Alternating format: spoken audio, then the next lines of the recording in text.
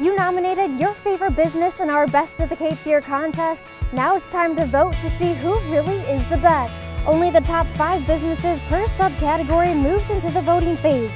Get your vote in now if you want your favorite business to have a chance to win. We're talking about your favorite breakfast hotspots to the best realtor in town. Voting starts on March 25th and runs until April 21st. Remember, you can vote daily. Best of the Cape Fear is brought to you by WECT and Cape Fear Weekend.